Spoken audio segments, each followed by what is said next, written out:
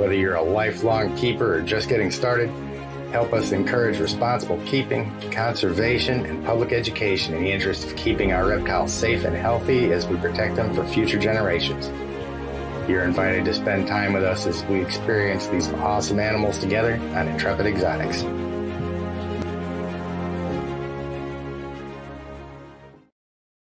Hey, what's going on, guys? So, a little bit different this week. It actually feels really weird sitting here in broad daylight here because we only, uh, only tonight is our first night changing over to starting at seven o'clock here. And of course, with the time change here recently, too, now it's still all white on us outside. So it feels weird, feels way early. We're used to doing this stuff at night. So I hope everybody has had an awesome week. We've got Chloe out here. I'm going to try and keep her out for a little while. She's got so much energy now. Don't you? You're just all over the place, girl. Those of you guys don't know, it's our little rescue retic here. She's a uh, female lavender mainland and she's been kind of staying to herself the last couple weeks she took a long time in shed and uh, she finally shed the other day she had a bunch of uh, the only bad thing she's one of the few retics that i've got on actual substrate so uh, she gets in there and she gets active and kind of nosing around in the dirt and then pushing on the glass a little bit sometimes she had a bunch of stuff all packed in her nostrils from that. So I gave her a really good soak. She had a good had a good shed, got all cleaned out. So she feels better now and she's ready to go conquer the world. And all of the other animals, her included, I'll need to get outside. I was just talking with a neighbor about this today, man. I've had like two days so far where I could really take the animals outside and let them run around. The springtime is just fighting tooth and nail, trying to uh, stay away from us as long as it can. But it should be kind of interesting coming up here. We've got uh, got a new animal coming here Monday that I'll go into. What are you doing? I was actually downstairs with Niles earlier today. Uh, he ate earlier, and uh, God, I was sitting down here. He came up, actually caught me right in the eye with his tongue. He's animal is such a trip. I'm gonna have to start doing some more videos with him here pretty soon too, because he has turned into. it's almost like here over the last couple weeks, he's really um, started to enjoy the attention. I come down, open up the door. A lot of times he comes right out to me and stuff like that. So it's really, really cool to see. So ah, and go through and see who all's on. I know a lot of folks are probably not up to speed with the new. uh We got 14 folks on. Yeah, a lot of people probably just not up to speed with the new new hours. Plus, it being Saturday with the sun out, even though it's a little chilly out there, it's still a pretty nice day. Serpents OG is on. Hello. Ruth is in. Laura and Erica. John, how you doing, bud? Come on. I still got to work the mouse and stuff, man. Just give me a second. Kenley is on, and yes, we're having a great weekend. I took three days off work, so I've got a five day weekend. So we actually get to get some stuff done.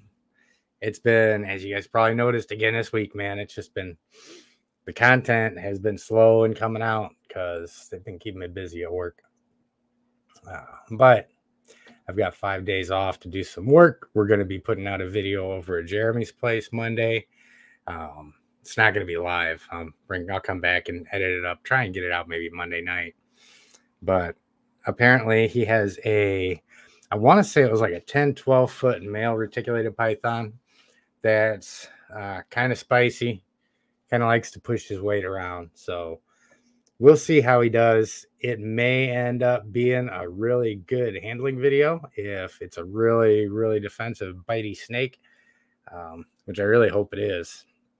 So we can spend some time really working with him and, and going through that process with a bigger one that we don't want to let bite us, uh, which is kind of what we've been waiting for. But Um, any of you guys that know Jeremy, Jeremy Turgeon from Brassman Reptiles, um, he knows what he's doing. So he is, uh, I guarantee the snake's been handled properly and all of that stuff. So he, uh, probably is not going to come to me being a basket case. Yeah. But then again, if Jeremy says he's got an attitude, then I'm sure he's got an attitude. We'll see how that plays out. So Judd is with us. New Patreon member too. Thank you, sir. Appreciate it. Tara's with us. Hello. Oh yeah. Chloe's a stud. She's awesome. Get in the camera. Come on. There you go. Get in there. I tell you, this is this is one animal I'm really anxious to see her grow and get bigger and keep getting bigger. Uh, she is going to be an absolute beautiful specimen of a snake, man, when she gets full grown. Uh, she already is, but when she gets big, I think she's going to be a pretty impressive girl. Hey, Megan. Good evening.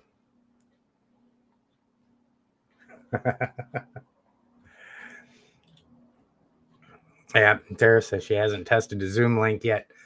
I hope it works too, because I haven't tested it yet either. So we're all going to test it together. Um, it should be pretty simple. The only thing about that is in order to go over 40 minutes on that Zoom call, you got to pay for it, which I'm fine with. But considering it's the first one, uh, I just want to get on, make sure everything's going to be working because if it's if it's got a lot of hiccups or something like that, or if it's just not, if I think there's something that we can do that's going to be better for everybody else, then I'll start looking at different options. I just wanted to give this give this a chance first because it's the most popular. A lot of people use it and it works for a lot of folks. So. So it'll be a 40 minute Zoom call tonight. For those of you that don't know, the reason why we started an hour early at seven o'clock instead of eight is for all of the paid Patreon members. We we're starting tonight our first uh, open Zoom call to where anybody that's on the Patreon page can jump in. Um, uh, should be a lot of fun.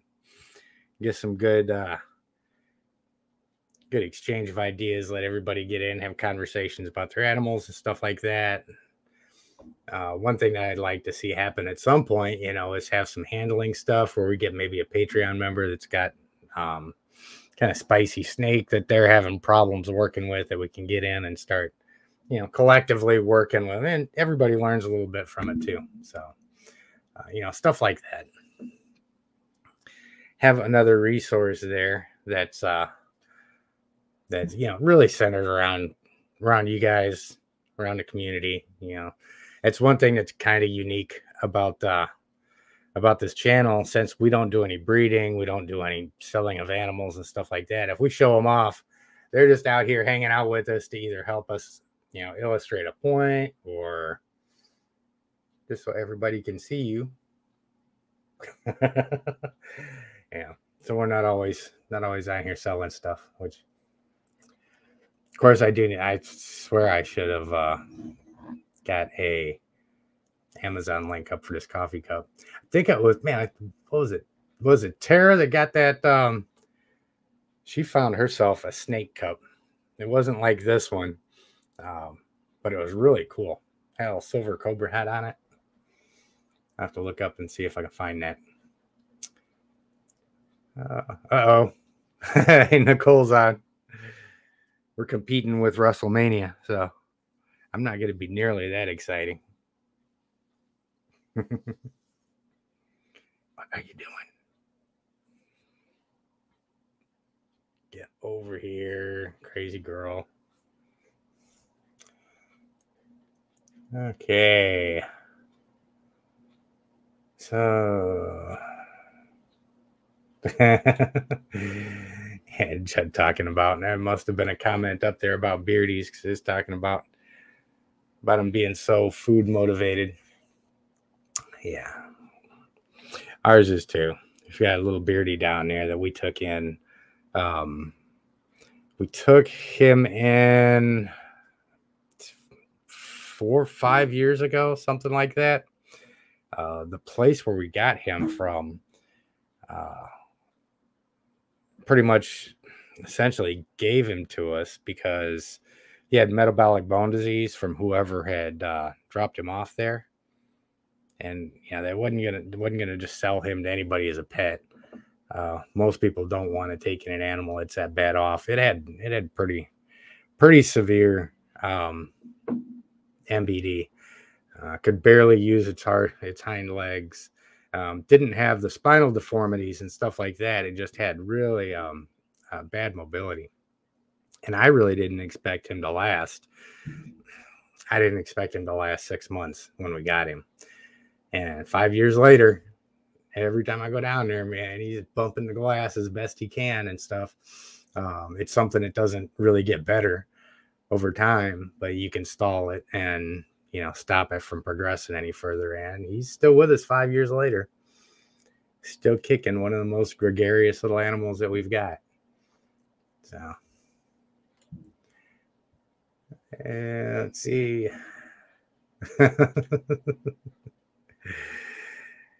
yeah, she's feeling herself.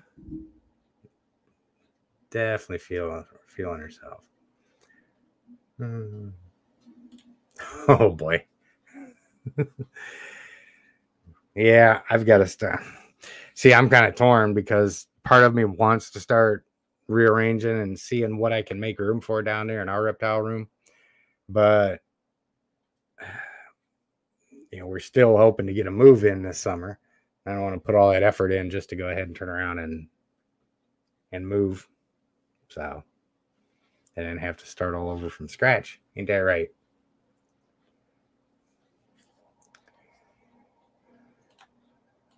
Let's see. Okay, cool. So, how many folks do we got on update team? Well, we've got a lot of our normal folks on here tonight, and I'm going to go ahead and put her back, or else I'm not going to be able to do anything. I'm not going to be able to do anything except pay attention to you since you refuse to chill.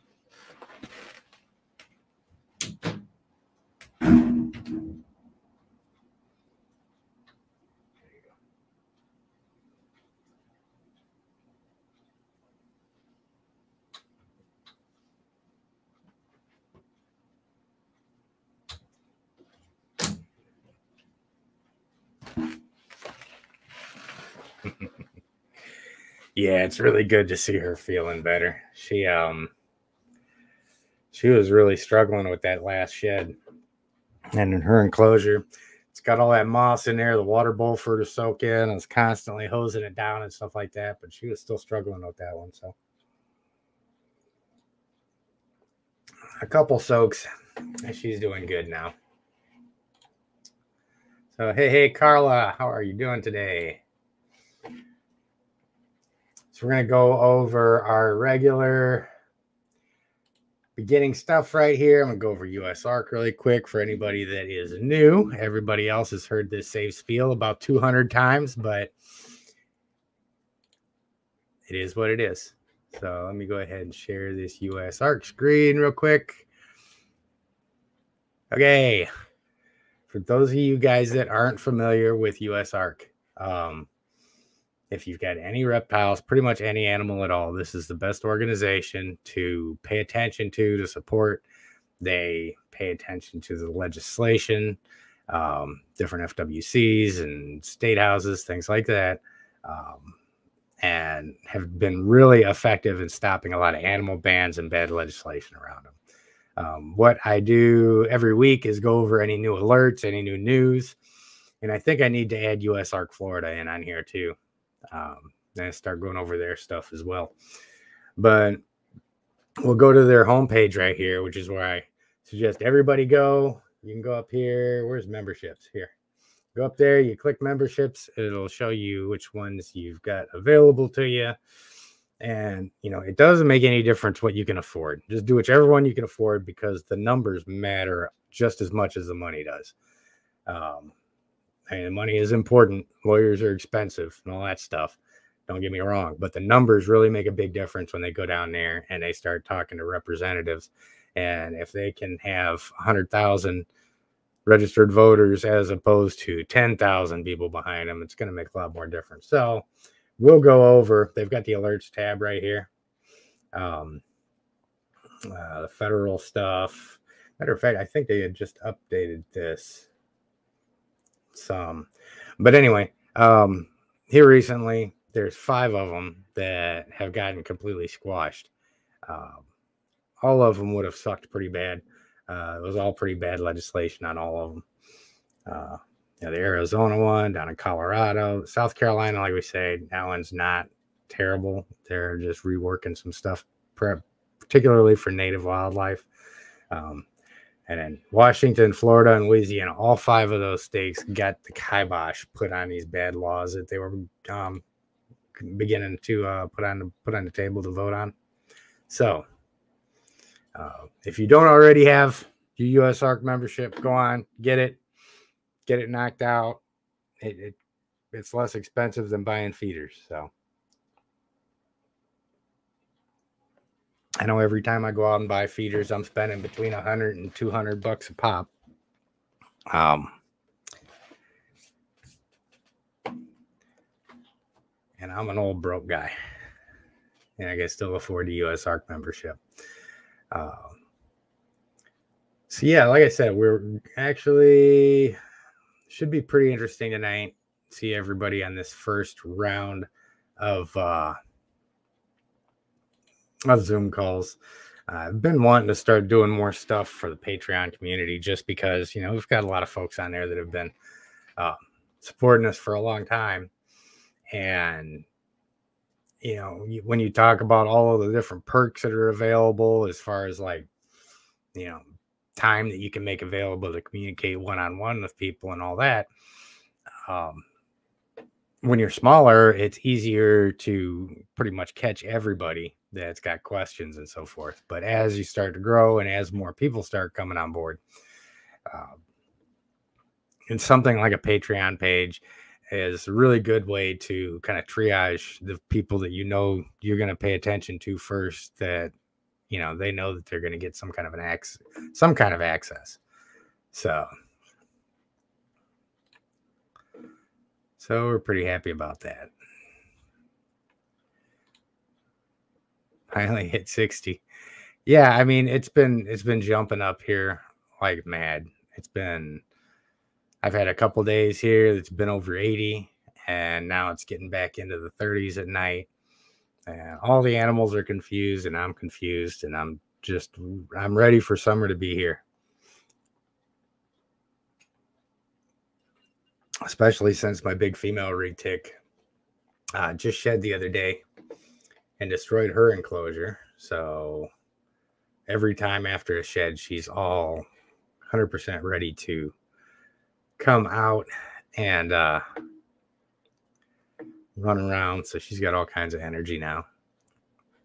And after that, after that first time of taking Niles outside, um, this year, he is just his personality, and it's so cool to watch him. Um, for those of you guys that aren't familiar, Niles, he's a six foot Nile monitor, and I've had him since he was a baby. And it's so cool to watch his attitude and his personality change as he ages. Uh, he's went through these stages. Uh, when you first get them, they're not too bad to work with. They're really food motivated, so you can tongue feed them and stuff like that. As they start to get bigger and you start to put them in bigger enclosures and all of this, you'll see distinct differences in their personality as they go from enclosure to closure. Um, you know, as they kind of hit that lizard adolescence, Niles really had an attitude problem there for a little while. It was, you know, as soon as he got big enough and he realized, I think he realized that he could hurt you, um, he took full advantage of that. And there was a couple times, man, where he's really tried to lay into me and threw his tail at me and stuff like that. Um, but now, as he's starting to get a little bit older, as I suspected, um, his personality is mellowing out a lot more. Um, really comfortable in his enclosure. He's all over the place now, which makes me really happy. He had it was funny because he had wasn't really funny. It was more sad than funny. But um, when I first put him in that big enclosure that he's in now, he practically would never leave his tub. Um, you know, he's got the tub there, and then right next to it, he's got the basking platform he can crawl out onto. And I'd see him hit that basking platform. It was just between there and the tub the whole time because that water is such a sense of security for those guys. Um, and he has gotten so much better now about when he sees me and I open up the door coming out and wanting to interact and stuff. So, really big strides with him. Uh, and I know we've taken the, um, for those of you guys also that was keeping up, excuse me. Um, those of you guys that was keeping up with the Asian water monitor that we had here, uh, he was one that I picked up and brought over from Aubrey Pruitt and was just going to use him to, to make videos with and maybe do some educational stuff on handling. But the thing is, is the animal is so socialized and comfortable that anything that you really try and film with him as far as handling goes is kind of a moot point because he's so easy to handle. um, he never once tried to bite at me, never once tried to tail whip. As soon as I'd open up the door, his nose would be right there. Um, anytime I'd take him out, you know, he'd be a little skittish or something, getting familiar with the new surroundings. But as soon as he did, he just crawling all over you and stuff. So um, I decided to go ahead and take him back over there. And I've got some enclosure space now. I'm kind of debating what needs to go in that new one. So I don't know.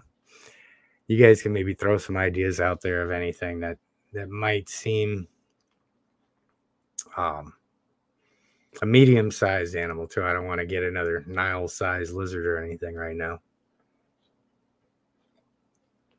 Because I just don't have the uh, don't have the space to build another Nile size enclosure yet. But oh yeah, New York. Yeah, New York weather's got to be pretty miserable for a reptile keeper. For sure. Uh, Kenley's pals are confused. They are, man. Everybody's in limbo right now because the temperatures are going crazy. I don't know whether we're in the heat or the air conditioning. Uh, you know, get them out one day, next day is too cold. So we'll see. It'll all level out pretty soon, and we'll all be complaining about how hot it is outside. Hey, Travis, how are you doing? yes, there's an anaconda coming at some point. I actually should probably start looking for one now. If I get a juvenile, then shall have plenty of time before I need to actually build out the big enclosure for.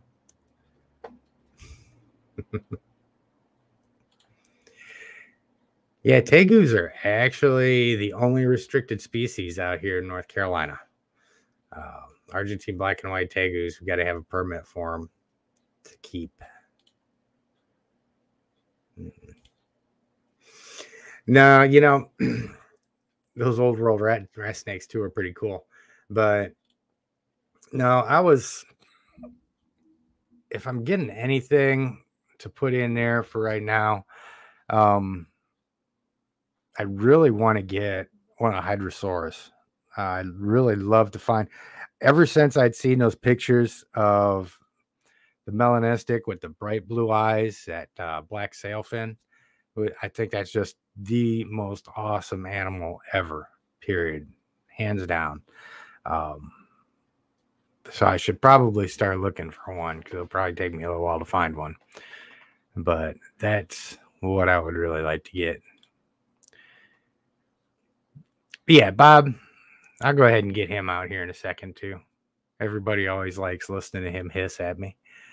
But uh yeah, the Bob, what she's referring to is a Sri Lankan back here.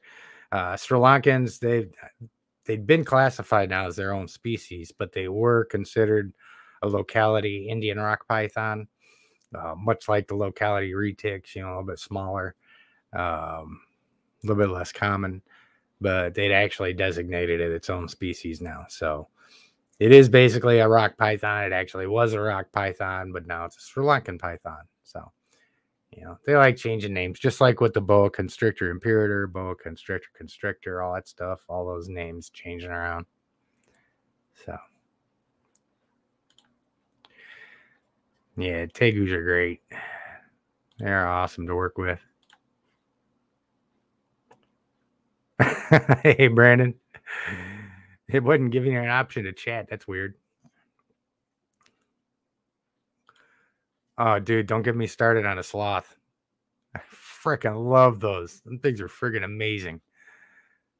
Yeah, I, if I had a sloth, I swear that thing would go. I it, it would probably be animal abuse because it would be with me everywhere all the time because there's I wouldn't be able to stop looking at it.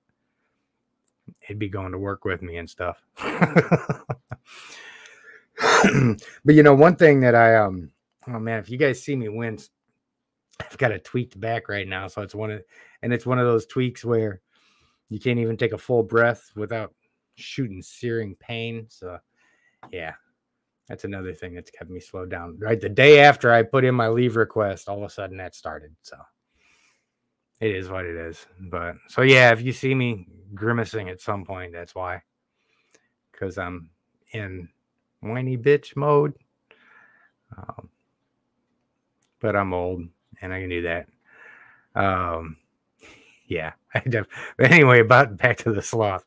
One thing cool about the sloths too is they naturally have a um, I don't remember if it's a fungus or a moss specifically. I don't remember what it is, but they have vegetation of some sort that naturally grows on their fur. Um, and if you look at some of them in the wild, you can see a little green tinge to them. Um, something I see before that came up, I wish I would have refreshed myself on it because I don't remember what it does specifically. Uh, all I remember is that they've got moss growing on them. So you can't, you know, you, you know you're you're a slow roller when you have uh, moss growing on you your whole life. I would, man. That thing would just hang around and we would do work stuff all day and it'd be happy. Oh, what around? Da, da, da, oh, that's always fun. Yeah, knee stuff always sucks. I had an ACL replacement in the army they could have done a better job because it's not uh, it's not lasting quite as much as I would like. It's really funny though. Every time I go down to the VA, get a new new doctor or something like that, or if I got to go in, get new pictures taken of my knee. Even the radiologist will pull up the pictures and stuff. and be like, "Man, you really did jack this thing up, didn't you?" yeah. Uh, so, hey, Rocco, how you doing? So yeah, I named Rocco. Made me think of New York. New York made me think of earthquake. How weird is that, huh? 4.8 hit in New York. Ruth is from Brooklyn. Um, and she was calling friends up there. Or they was calling her. You ain't gonna believe what just happened. oh man. Okay. Let me see if I can gimp my way over there. Since somebody brought up Bob, I'm gonna go ahead and bring him out. Real quick. He's right behind me, so. Uh, where are we at? Like, anything the doctor told you to do to help, you already been doing. Yeah. Yeah. All you, I mean, my experience with the bad knee, mine was a severed ACL. I spent um, seven years active duty with no ACL in my left knee before I got it. I mean, that's that's kind of the the military mindset. You know, to give you an example, one of the uh when we was going through SF selection, one of the candidates out there had I guess would sit and he was sitting alongside the road and do uh ruck marches out there cross country down 12 20 miles depending the last one we did was like 55 miles or something like that over 72 hours. But he was sitting along the side of the road and cadre was just walked up to him and like, Canada, what, what you doing? He's like, well, Sergeant, I think I broke my foot. I'm like, well, what makes you think that? He's like, well, it's crunching when I walk. And uh, is like, well, don't you think you might want to just suck it up and finish and look at it later? so yeah, that's that's the kind of mindset that we we operated on. Um, so yeah, seven years with no ACL in my left knee.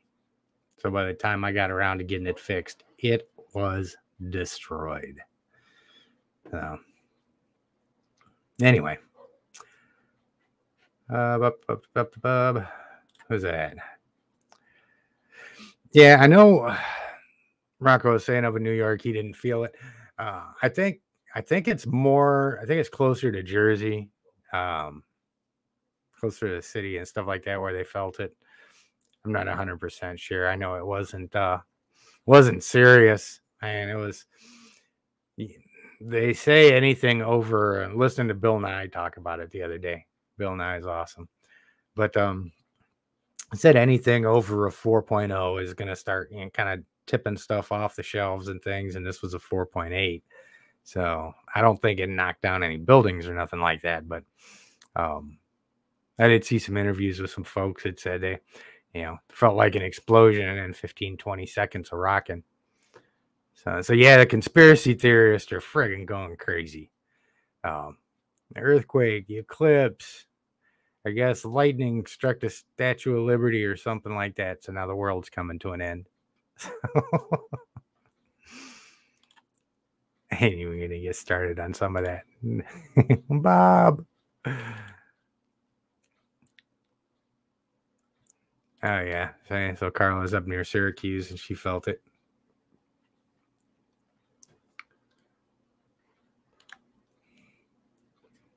Really?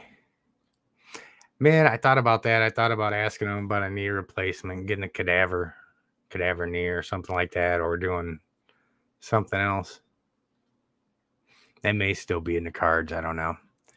I just really am not looking forward to a recovery if I decide to do something like that. So. Uh, oh yeah, Yep, Southern California gets them all the time.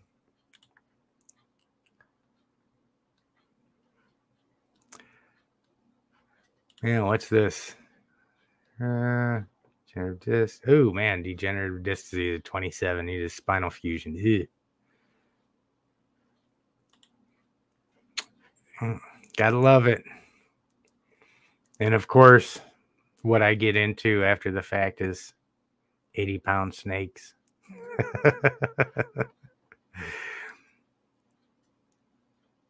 Fourteen. Okay, let me go see what Bob's doing. I'll try and keep this thing open so you can hear him hear him yelling at me because he's in his water again.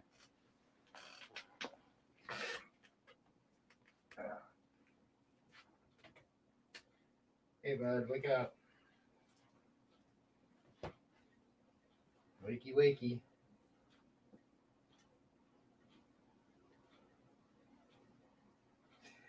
It is something I recommend. I don't know if you guys can hear me or not, but it's something I recommend you do. when you're going in on your snakes, just kind of give them a minute and make sure that they see you. Give them a second to kind of register what's going on. Hey, bud. Hey. Doing good? You gonna take a swing at me?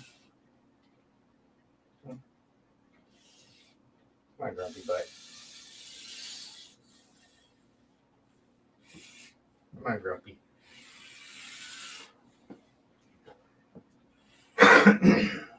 oh boy. Ah. Oh shit. No laughing at the crippled old man. oh man.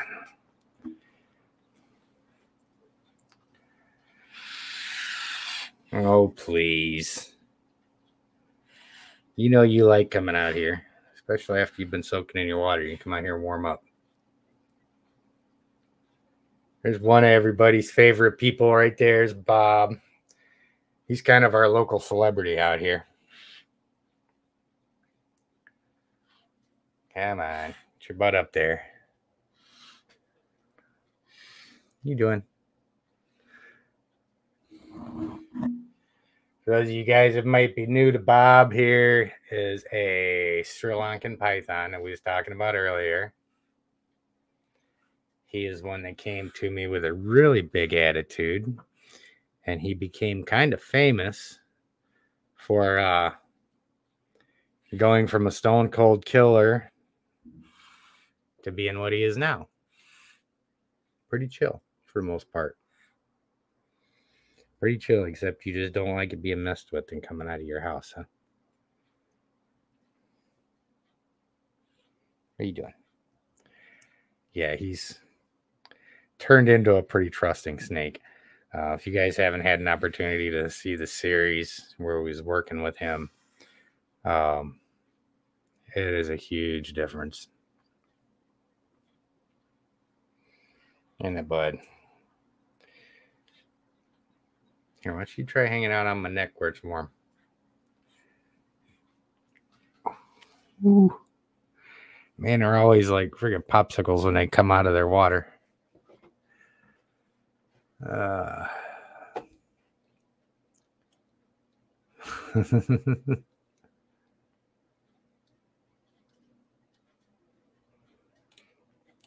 what's that? Oh, Eric was saying oh, about how they've come a long way. I may have to look at that. So. yeah, these these guys are pretty cool. I'm curious to see how big he's to get. So.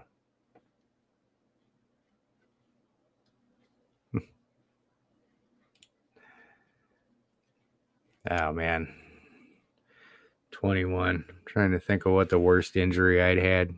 Probably a concussion by the time I was 21.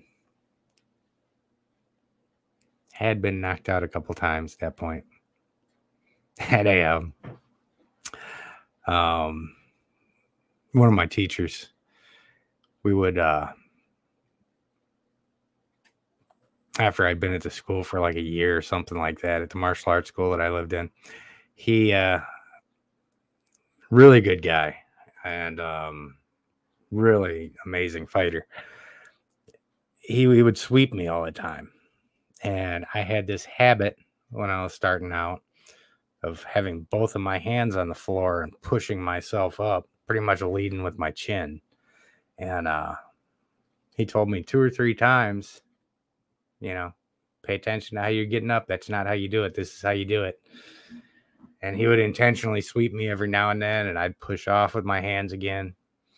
And uh, one time I did that, and as soon as I pushed off with both of my hands, he just kicked me, kicked my head like a football uh, knocked me cold, busted my face all open. And uh, that was the last time I ever got up off the ground like that, leading with my chin. So we had, we tended to learn a lot of our lessons the hard way when I was coming up. Uh, hey, Tyler, how you doing?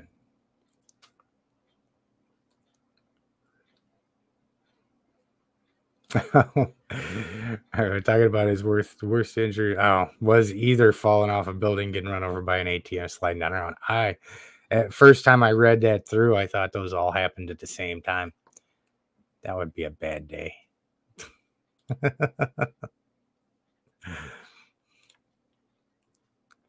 he is.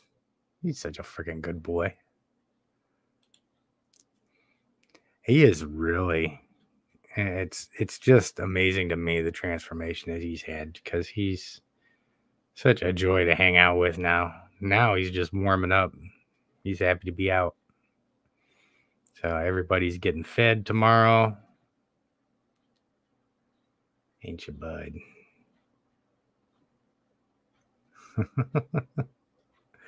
Hard to believe you're the same snake that was biting me in the face. It really is. What you doing?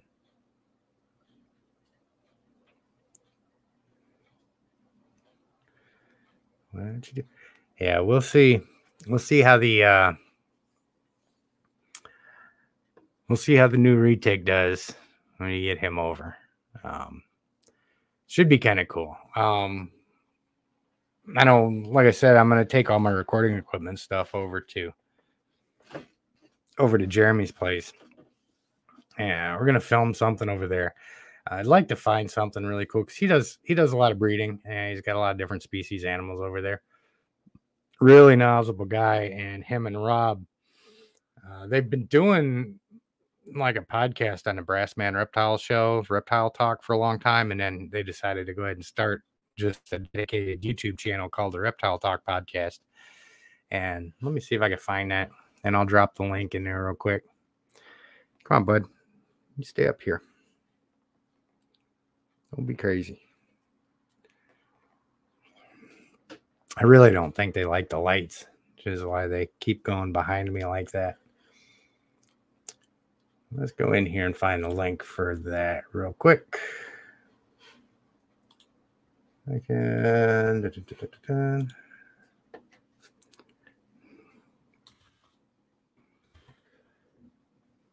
Oh my God. I am not typing well at all today.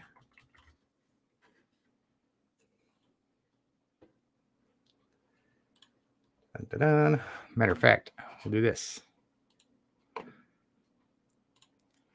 And we'll do that and this.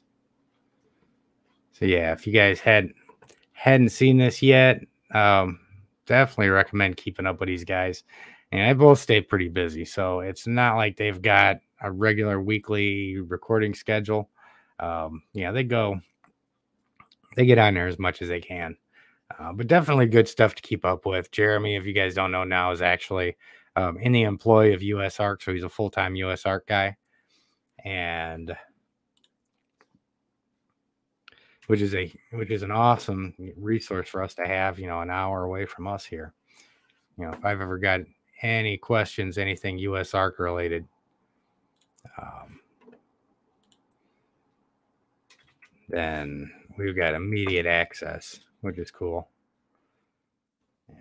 And there's the link for that. So this next video that we put out with him, we're going to try and push his channel a little bit out there as well. Mm. Empty coffee cup. Time for the backup.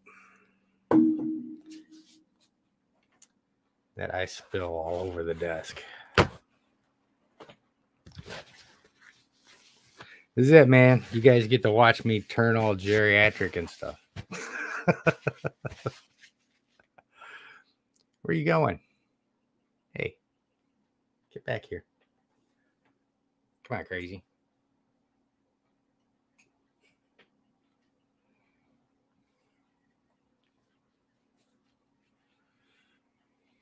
Come on, bud.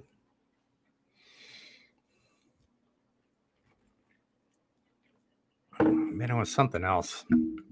It was right on the top of my head, too. I was going to put out with that. Uh, let me go back here. I'm going to go ahead and pin that for him. Can't pin it right now because the reaction thing's right in front of it. Okay. What are you doing? All right, let's see where we're at here.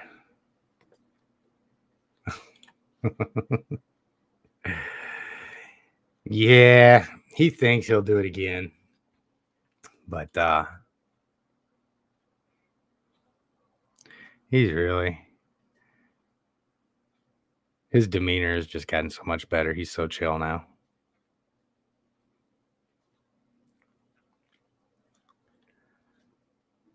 Ain't that right? He used to be terrified of the microphone.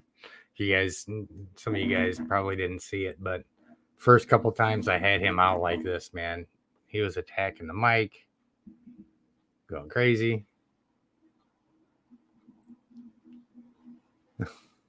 what are you doing?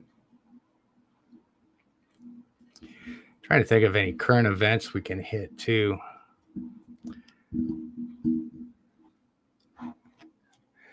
Like I said, it's been a slow week as far as everything else goes. Um, there's been a whole lot going on the next few days. Um, really should be kind of exciting and get some more videos and stuff out. Uh, like I said, we've got um, five days ahead of us to. And actually, if you guys have got any suggestions, you can go ahead and drop them in there now on uh, some stuff you'd like to see. I've actually gotten um, another update. I mean, you guys may remember the last handling update that we did with. Uh, uh, let's see. The name escapes me right off the top of my head. Um, I was talking with another person. I don't think I'd went over this with you guys yet. Just sent me a text the other day, picture of his daughter, I think 12 years old or something like that, um, with their retic. And when he had contacted me, they was having all kinds of problems with him being real defensive and and handling issues and stuff like that. Um, so sent up over a couple pictures of the kid, you know, messing with the snake, talking about how everything is uh so much easier now. No, it wasn't Steve. This is another one outside of Steve. You know, Sam was Sam was saying it was Steve. Um, but no, that's a different one. Uh, he was working with the piebald or with the pied rather. This was a different guy, but it was just really cool seeing again. You know, somebody sending a message. You know, pretty much saying thanks for your help because um, you know all of the stuff that we um, that we go over with folks it, it helps a huge deal when you're working with your animals and they do they do grow quick yeah it's i kind of like i kind of like the size that chloe's at right now but i remember when monty my female retic was that size too um and now she's 80 pounds. So 80 pounds worth of I'm ready to go outside is what she is. oh, that's what I wanted to mention too. Um, for those of you guys that don't know, um, you're familiar with Mike's monitors, and um, Mike and Jen are both doing um, a podcast together. It's on the Trap Talk Network. Um, because apparently MJ had kind of branched out a little bit and started to network his channel. So he's got other folks that are coming on, and um, they're doing a monitor lizard series every um, every Saturday, uh, Saturday at noon Eastern. So uh, they were just on earlier. If you guys get a chance to check that out, it's really good. Um, Mike Stefani, if you guys are familiar with him, uh, he is an ace with monitor lizards. Uh, he's got some really good advice. Uh, he's really renowned for his enclosures because he's got some really cool enclosures that he puts out. And I keep meaning to get up there. Of course, Chicago is kind of a long drive from here, so and I don't get very far from home very often. Uh,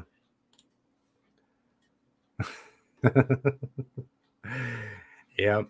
Yeah, the baby pictures of our animals. Rocco was talking about how he used to fit in his hand. Yeah, the baby pictures. Like I've got I've got a picture somewhere of um my big female retic just sitting on my arm like a little tree snake. So they do grow up quick. No doubt about that.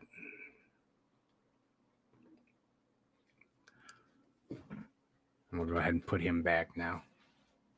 He's done good.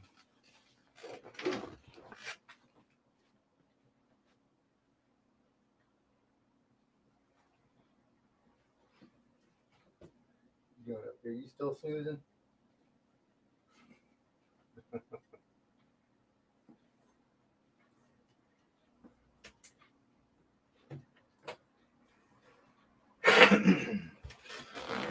oh man. And you guys will see too, I've got a little bit bigger enclosure set up. Not the prettiest thing in the world, but I wanted to give uh, um, give Lilith, our Jagdpondera, a little bit more space, a little bit more temperature variant and stuff. So we've got one set up in there. Um, move that up here. I need to actually redo the front doors and stuff on it.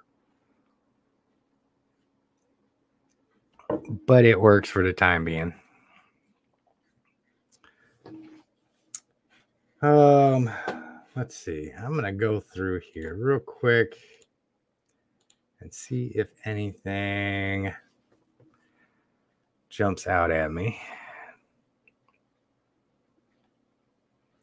Yeah, like I said, guys, not a lot of new news right now. Um, we'll be coming out with the new videos early in the week um, with the new snake, which will be a lot of fun. Um, hopefully, my back decides to start cooperating with me before then. And um, let's see. Yeah, I think we may end up calling it a little bit early tonight because we do have the um, Patreon uh, Zoom call coming up after this. So if you guys let me go ahead and put this up there real quick for anybody that may be interested. Um, if you've never been on a Zoom call before, um, which I think by now, after the pandemic, I think everybody has been. Um, Let's see. It can be pretty fun. And we've got a pretty good Patreon group up here too. So put that if you guys are interested in getting on there and joining us with the Zoom calls, that is where you do it. Um, I didn't even know until recently there's there's free members on Patreon. The Zoom calls are for the paid members only. Uh, and it doesn't make any difference which tier you're on or anything like that.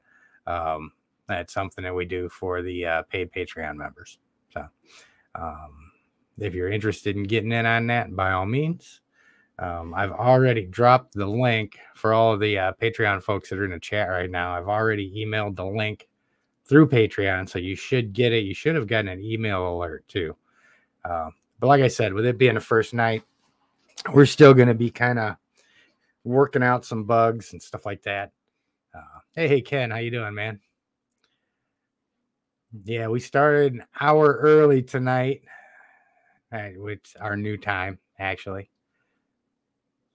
So, uh, let's see.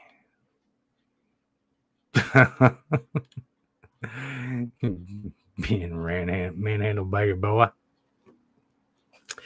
Man, Charlie does that same thing. My boa imperator when I bring him out and he comes in here. He just and he's not smart enough to realize how tight these holes in the back of the chair. I don't know if you guys can see them or not, but there's two holes in the back of my chair.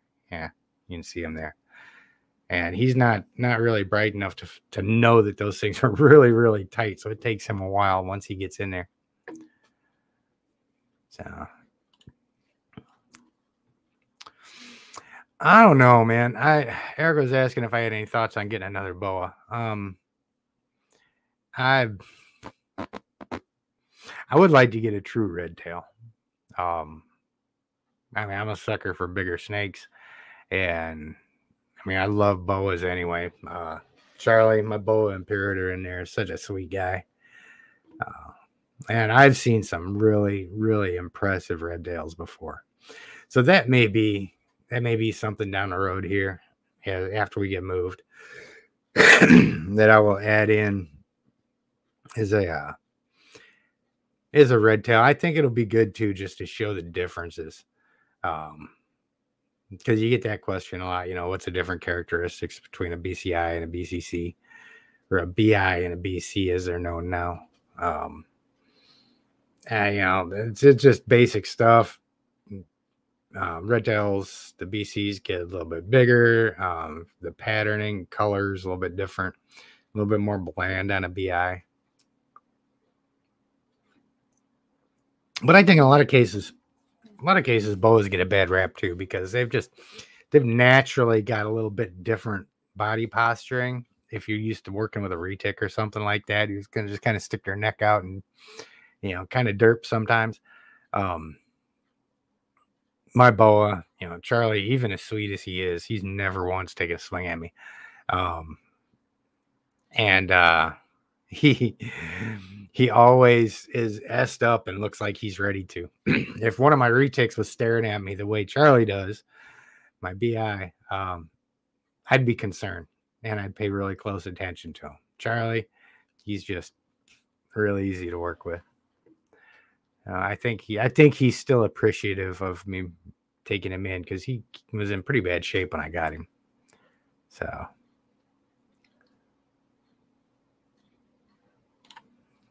Oh, cool. I appreciate that, man.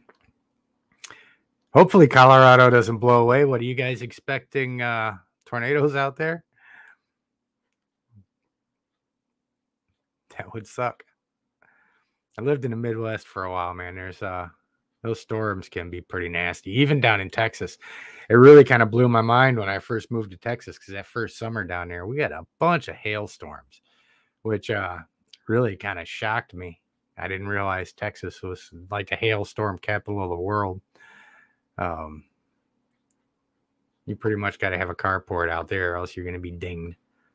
Uh, hey, Banana Fields with us. How you doing?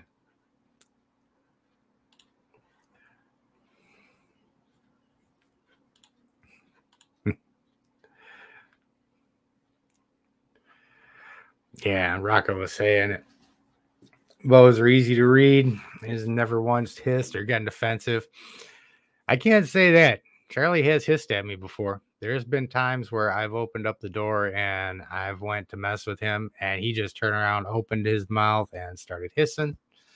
And I, I need to get in there and have my phone ready sometime and and capture that. Um, because it's it. I'm sure for somebody you know, a little less experienced, that would be really intimidating. When that big snake turns around, shows you his mouth, and just starts growling at you. Um, you know, sometimes when he does that, it's you know because I opened up the door, I was going to go in and handle. If I was going to just handle him or something like, I just close the door. He doesn't want to be messed with, so I'll leave him alone. But if I'm going in to clean his enclosure or something, then it doesn't matter. He can have all the attitude he wants to. And he does that and i still just scoop him up and he begrudgingly comes out. He's never never taken a shot at me. Um, but he does let me know. He does let me know that um, he doesn't want to be messed with. Yeah yeah their posture can catch you off guard if you're not used to working with them man our little miniature pinscher and of course springtime she's shedding and she's got these tiny little hairs and she likes to get up and rub on your face. So, um, yeah, I get these little dog hairs up here by my nose. So if you see me constantly going like this, um, I don't have any bad habits like that. It's uh, it's all dog hair.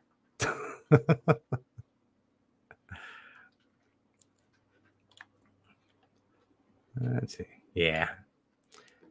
Yeah, it does take ah Come on. The new uh the new alarm I had to set after my diabetes diagnosis. I got a reminder up there to take my meds. I'm getting old. Before you know it, I'm gonna have the little pill box labeled Monday through Friday. Let me set that stuff off there so I don't forget because I am getting absent-minded. Yeah, 40 plus. Ah, that's not too bad. So that's not quite enough to blow anything over unless it's really, really wet. We did have a um God, what was it about five years ago out here? Um tornado roll through Greensboro, which is about 20 minutes away from me. Um, right through town too, man. Just completely tore up a bunch of places. Yeah. Erica saying she loves that boa growl. It is pretty impressive, man. When you get a big boa that's that's yelling at you, uh, it's pretty cool. I don't have any of my other animals that will uh, are quite that vocal. So, except for my hog nose. If my hog nose was boa size, I, I really think if hog nose got like 12, 16 feet, they would literally knock you out because you know Hognose got that. That's another thing I was planning on doing at some point was bringing her up so you can see her. But I've got a um a little hoggy down there.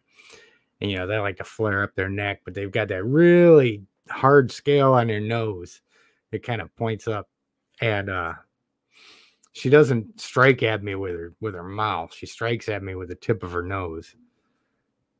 And uh she's another one that can be kind of grumpy sometimes. But yeah, if she was a big snake, man, that thing would hurt.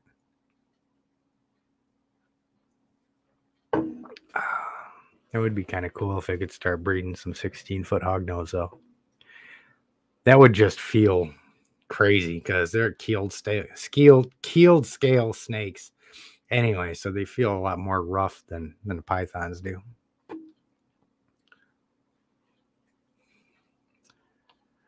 Uh, let's see.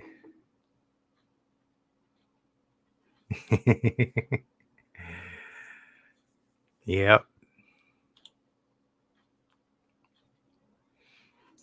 Oh, let's see. Man, stayed caught up on all the comments tonight. I'm not entirely sure how I did that. Well, like I said, I think it has a lot to do with the fact that um not a whole lot exciting going on this Saturday.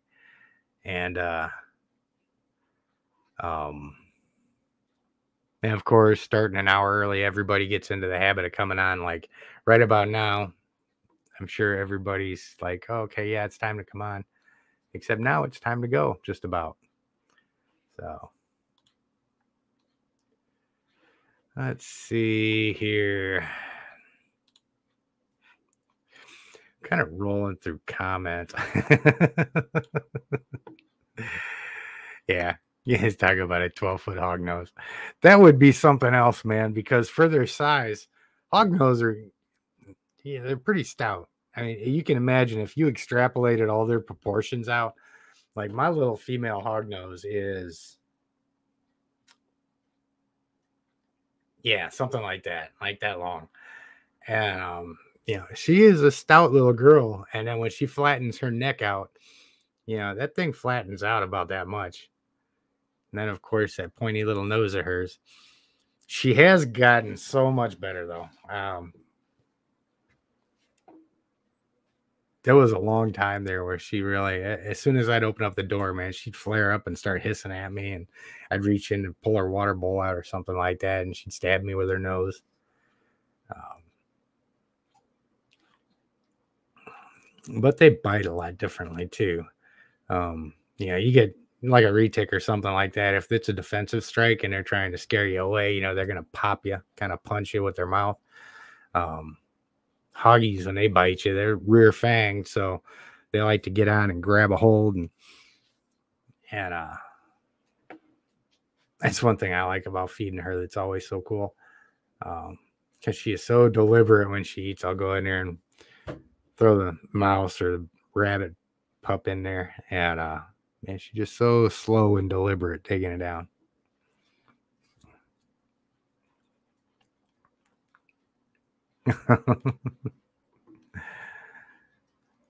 That's funny. you know, my um one of mine that'll that'll come after me all the time. Actually, the snake I've got here that's got the hottest food response is probably my Florida king snake. Um, she is a straight killer. Maybe three feet long, something like that. And um man, she is she is easily the most reactive when it comes to food. She sees anything happening by her door, man. She just boop, I actually put a video up uh, not long ago of her when I was going in to change her water. Matter of fact, let me see. I may see if I can find it real quick and put it up there.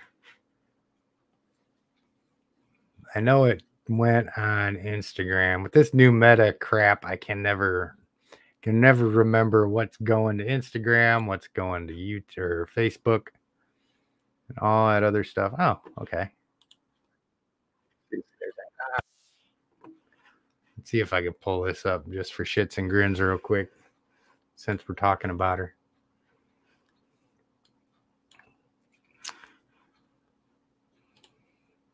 This will be a lot easier than going down to pick her up.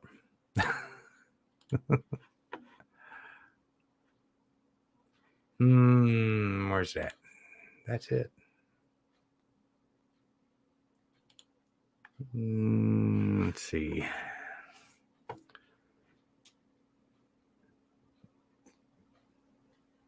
No, it's not going to change the size. We'll see how well you can see. Turn the volume down on that. Hopefully the captions don't cover it. Yeah, that's her. She's such a sweet girl. But this was one too where I was just kind of showing if you even the ones with the hottest food response that are will like immediately she'll strike you, you not even think twice about it. But even the ones with the hottest food responses, if you just give them a little bit of time to figure out what's going on, give their brain a little bit of time to register stuff, and can make everything else so easy with them. Even even the squirrely little ones like her. And I think that's where a lot of people may get in trouble. Is you know it's really easy to, um, yeah, if you open up and you don't give them enough time to really figure out what's going on, and they react defensively or something, and then it gives the, the handler a whole bunch of anxiety about going in and they start getting jumpy and the snake starts getting jumpy.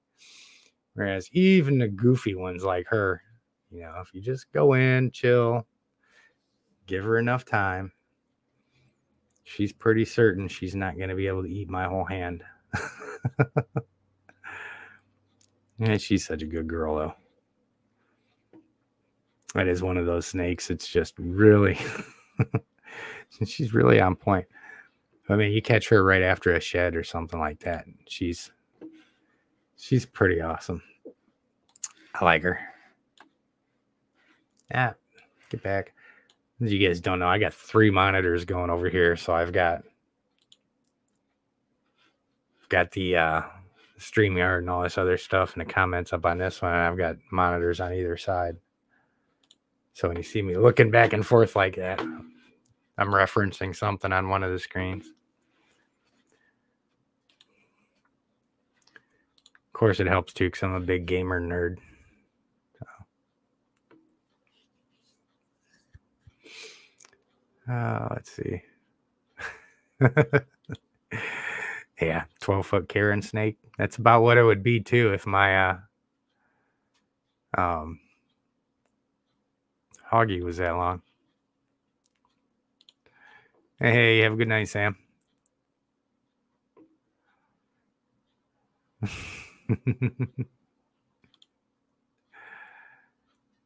oh yeah. Oh yeah.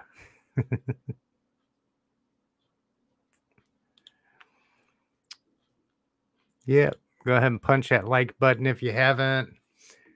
We're coming up. I think I'm gonna go ahead and uh oh hey cool New person, firing a teacup. How are you doing? Said he knew the channel and you said monitors. I assumed you had monitor lizards. I do have monitor lizards. Um, Niles is my uh, my guy right now, and let's see. Matter of fact, welcome to the channel, by the way. And I'll go ahead and pull up I know I've got some kind of pictures of him here somewhere. Uh, da, da, da, I need to go through here and organize all of them. Let's see. This is a good one. This one is two years ago, I think. Uh, where's it at?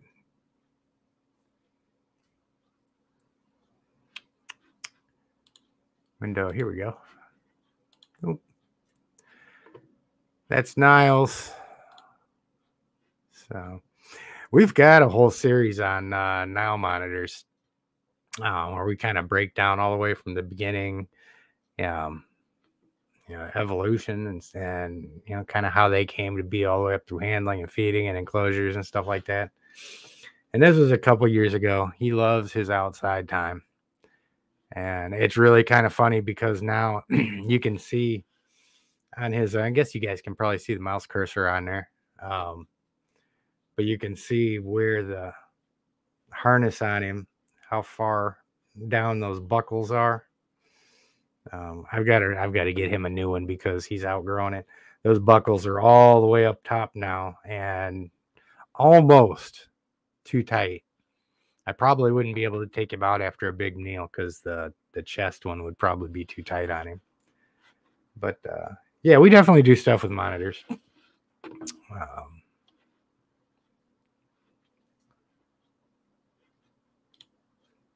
oh, cool. Friendly Scales is a huge fan of the videos. Really helped you improve your handling and associate. yeah, and it's um, you know, it's kind of a shame too with the monitor stuff. Um, now I was told um that the monitor that I, you know, of course, I had that Asian water monitor that I was going to start handling, uh, doing socialization videos with, um, but it was already too socialized to really demonstrate anything. Um, I do have some friends that have got some monitors that aren't quite as friendly. Um, so maybe that'll be, you know, the only problem is, is that I really need to, really need to have more space before I start bringing too much stuff on. Um, but that is something that I do intend on doing because you know, I've got a lot of a lot of great keepers around me and stuff like that. Um, once I get moved and I've gotten got the ability to house more stuff and do more stuff, we'll have access to a lot more animals um, that I can bring out and work with for socialization and stuff like that. You know, even if it's not permanent, you know, friends of mine they'll let me bring them over, pretty much socialize them, send them back. So, so that'd be cool. Um, let's see. Yeah, Asian. Yeah, yeah. If you get, if you get, if you have space for an Asian water monitor, then definitely those things are. I mean, they're the golden retrievers of monitor lizards. Man, they're so easy to work with with a very basic skill level. Um, I wouldn't recommend getting a Nile. Um, they can be great if you want a potential challenge. I mean, you can you can find Nile monitors that that are chill. Some people have got them really, really trustworthy and all that stuff, just as much as an Asian water monitor. But um, they can be trickier. Uh, they're naturally um, much more interested in fighting than Asians are, as a general rule. Uh, Niles has taken me a long time to get him to the point that he's in now.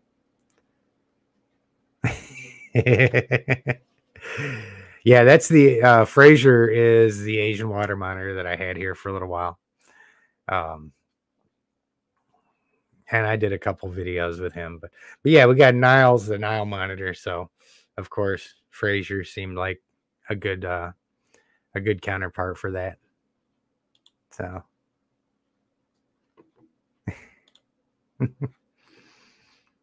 oh yeah, yeah. Retics are great, man. I think retics are one of the best snakes you can keep, hands down.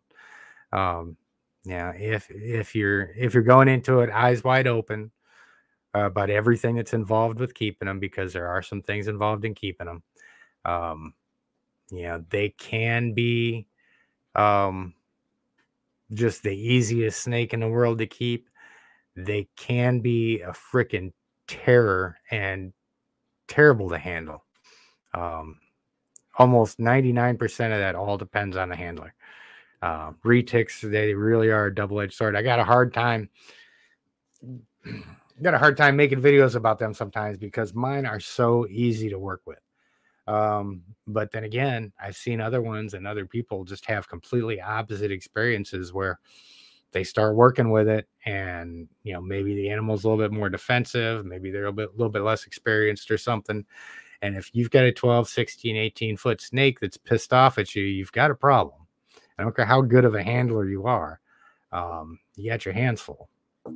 So yeah it's kind of a, a double-edged sword when you talk about it you've got they, they can be real easy like i said but um, you, have all you've just got to make sure you're putting forth the effort to prepare yourself for worst case scenario with them.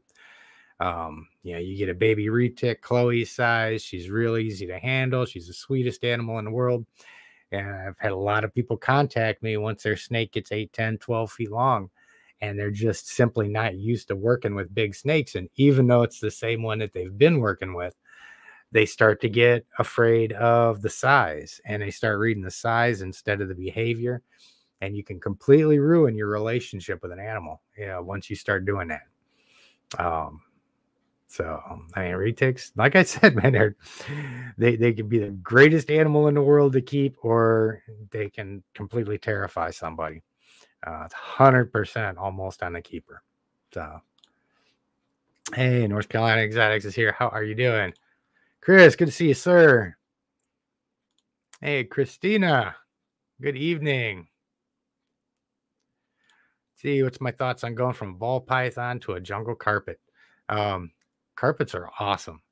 Um, carpets, of course, they they're um, you know arboreal, semi-arboreal, so they they get kind of a bad rap sometimes, kind of like the boas. You know, everybody says the boa looks like they're always trying to kill you. Um, carpets can be really energetic and clingy and stuff, kind of reactive, but they're awesome. Um, they uh, you know, mine has never taken a shot at me. I've got a jungle carpet downstairs. Um, but it's a good transition. And if you give them vertical space in the enclosures, they'll definitely use it. Um, you can do some really cool stuff for them, like the cabinets. The one I've got downstairs is in an enclosure, much like the uh, China hutch I've got over here. So.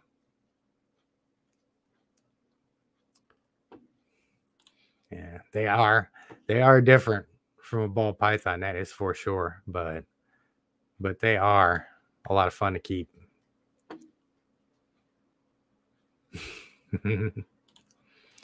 yep, they will definitely know, let you know if they like them or not.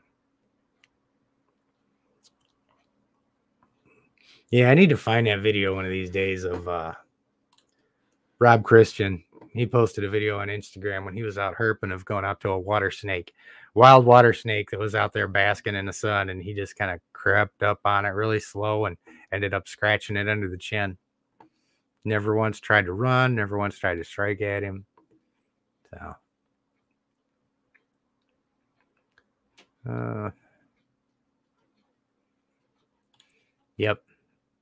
Yeah, if you're looking for a more active animal, it's not going to get retic size. Carpet pythons are a really good choice. Definitely a good choice. Now, if you get, if I'm not mistaken, Chris was asking how big the carpets get. Um, and correct me if I'm wrong here. The two main ones that you'll see are jungle and coastals. Um, I think the coastal carpets get much bigger. I've seen them pretty sizable, like 10, 12 feet. I think that's about what you can expect them. Jungles being a little bit smaller, but they can still get pretty good size. Um, like I said, I've got the one right now, and he is six feet, maybe, maybe six feet, something like that. So,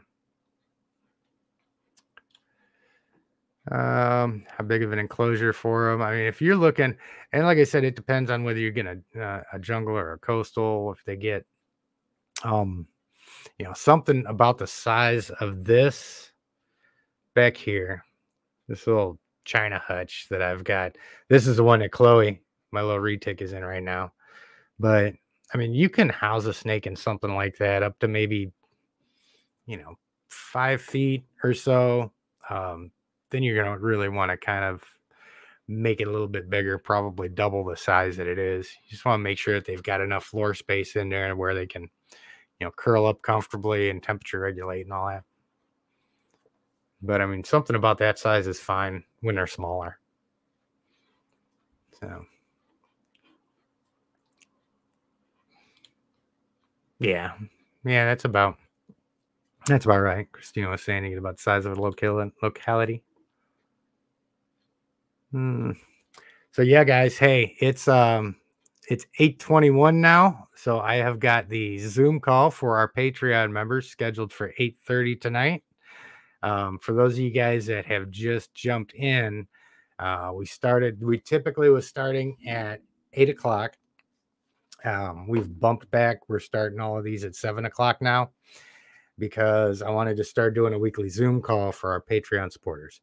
And so at 8:30, we're going to transfer over to that. And since this is the first one, I need to get all my ducks in a row.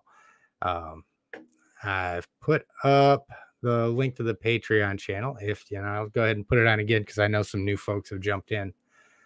Um,